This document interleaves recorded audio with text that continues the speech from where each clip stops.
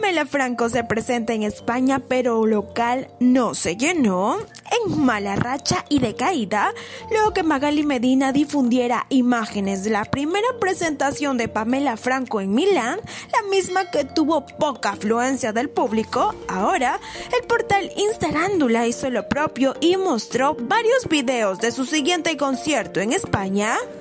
Como se puede observar en imágenes, el local donde se iba a presentar Pamela Franco no era un local bastante grande, sino era un local muy chico. Sin embargo, Pamela Franco no llenó este recinto.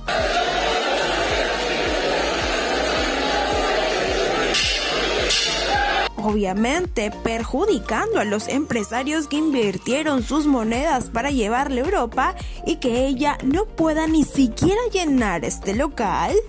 A las justas se ve 20 personas y se puede observar también las mesas de adelante totalmente vacías.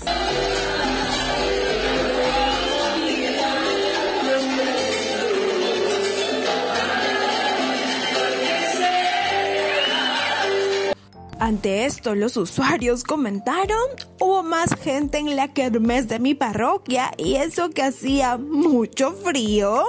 Pese a que Pamela Franco tiene una extraordinaria voz, el público no la está aceptando. ¿Será acaso por ser la amante oficial de Cristian Cueva?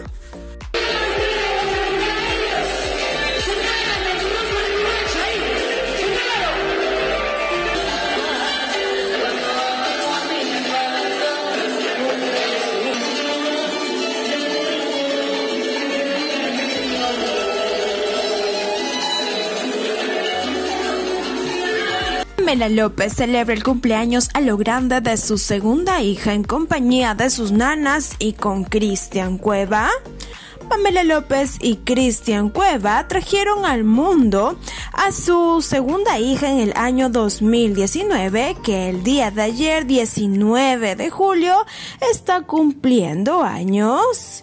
Y es que Pamela López ha evidenciado que ella, por tener tres hijos, necesita en su casa dos nanas, y es por este motivo que la esposa de Cristian Cueva decidió también llevarse a las trabajadoras de su hogar para celebrar junto a sus hijos el cumpleaños de la pequeña e incluso también disfrutaron del parque de diversiones al lado de toda la familia.